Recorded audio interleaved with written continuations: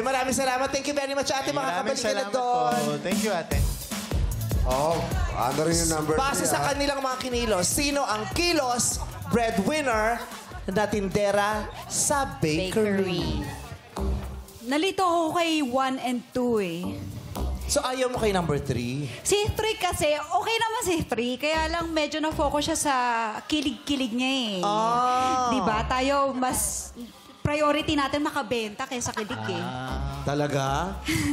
sa trabaho, hindi ka kinikilig sa mga co-stars mo. Oy! May naging jowa ka bang ano, kasama mo sa trabaho? Wala. wala. Mamatay? Mamete.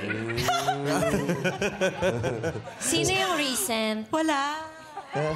Di ba may recent? Wala eh, wala ka nga daw. Sino yung kinilig kang ka-eksena mo? Oo. Yung totoo? La, kada naman meron ako nakaka-partner, kinikilig Kay, ako. kay Pag Jacqueline Jose? kasi Kinikilig ka kay Jacqueline Jose?